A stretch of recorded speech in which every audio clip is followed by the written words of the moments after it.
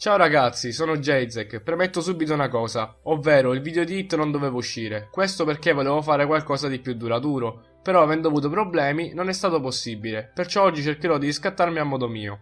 Oggi parleremo della famiglia di Goku, e per famiglia non mi riferisco a quella attuale che Goku si è creato sulla Terra, ma quella delle sue origini di Saiyan. Iniziamo parlando di Jin. Jin è la madre di Goku. Fino ad un paio di annetti fa, molti pensavano che fosse Seripa la madre di Goku. Questo perché, vedendola lottare al fianco di Bardak, si pensava che i due avessero anche altri tipi di rapporti. Jin è una Saiyan di terza categoria, quindi proprio di infimo ma di infimo livello. Nonostante questo, faceva parte della squadra di elite di Bardak. Qui il nostro Saiyan si ritrova sempre più volte a salvare Jin per via della sua scarsa dote combattiva. Questo fece accendere la scintilla tra i due. E per scintilla non mi riferisco all'esplosione del pianeta Vegeta. Bardak si affezionò a lei, nonostante non sia molto comune tra i Saiyan, questo perché, oltre a salvarlo da ogni tipo di pericolo, Jin possiede un carattere estremamente gentile. La scoperta di questo personaggio, a parere mio stupendo, l'abbiamo nel quarto volume di Jago the Galactic Patrolman, uscito alla bellezza di tre anni fa. Ma torniamo a noi. Jin non essendo portata per il combattimento e non avendo quel tocco di spietatezza che accomuna tutti i Saiyan, decide di ritirarsi dalla squadra di Elite e di andare a lavorare come operaia nel centro di distribuzione della carne dei Saiyan. Jin regala a Bardak due figli, e se ve lo state chiedendo non utilizza Amazon Prime, infatti l'attesa per ogni bimbo è di 9 mesi. Spedizione a parte, abbiamo i conosciutissimi Radish e Kakarot, ovvero il nostro caro Goku, Nonostante Toriyama ci abbia regalato lo speciale Le origini del mito, di Gino non vediamo nemmeno l'ombra. Ma fortunatamente nel volume menzionato prima di Jago The Galactic Patrolman, che per chi non lo sapesse è il prequel canonico di Dragon Ball, è presente una piccola storia che precede la distruzione del pianeta Vegeta e la quasi estinta razza Saiyan. Questa storia è intitolata Dragon Ball Minus, ma credo si dica Minus, dannati problemi di pronuncia. Comunque non preoccupatevi, cercherò di farvi una sintesi. Qui la potente razza guerriera dei Saiyan, sotto il controllo del malvagio imperatore Freezer, combatte giorno e notte per ottenere con la forza molti pianeti. Bardak insieme ad un altro Saiyan, mentre sono impegnati alla conquista di un pianeta e allo sterminio dei suoi abitanti, ricevono una comunicazione tramite Scouter, dove veniva riferito a tutti i Saiyan di fare ritorno nel pianeta Vegeta.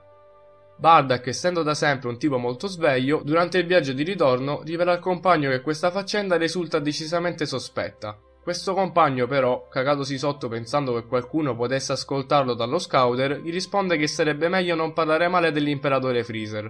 Bardak così suggerisce allo stupido guerriero di togliere lo scouter, e mi sembra magari giusto. Giunti nel pianeta Vegeta, i due compagni vedono l'astronave del possente Freezer librarsi in cielo. Così, Bardak inizia a sospettare che Freezer stia tramando qualcosa, Neanche a farlo apposta, arriva un altro Saiyan a salutare il nostro Bardak. Questo gli rivela che in giro circola la voce del leggendario Super Saiyan. Questa voce è arrivata fino ai soldati di Freezer, quindi anche all'imperatore. Quest'ultimo rimugina su questo ipotetico Super Saiyan, rassicurato dai suoi soldati che sia solo una leggenda, Freezer così risponde di saperlo, ma non vuole comunque correre il rischio. Così domanda quanto tempo ci voglia affinché tutti i Saiyan in missione facciano ritorno nel pianeta Vegeta. La risposta è di circa un mese. Così Freezer programma di distruggere il pianeta Vegeta tra un mese e nel caso in cui i sopravvissuti dovessero avere qualche sospetto, basterà dire loro che il pianeta è scomparso per via di una collisione con un gigantesco meteorite. Vegeta nel frattempo si trova impegnato nella conquista di un pianeta, insieme a Radish e Nappa.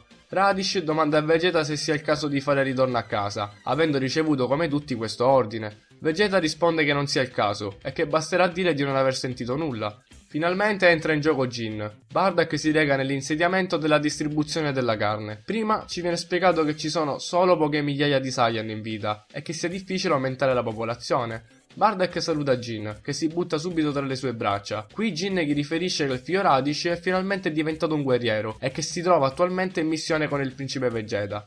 Ma essendo molto lontani, non sono ancora tornati. Bardak così domanda se il figlio Kakarot si trovi nell'incubatrice. Qui ci viene mostrato un Goku già abbastanza cresciuto, difatti a 3 anni.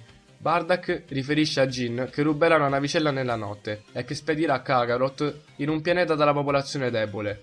Jin chiede spiegazioni, così Bardak le riferisce i suoi sospetti su Freezer e che agisca per il bene del figlio. Jin domanda che sia strano che un Saiyan si preoccupi dei suoi figli, così Bardak risponde che sia per via della sua personalità molto gentile che lo stava pian piano contagiando.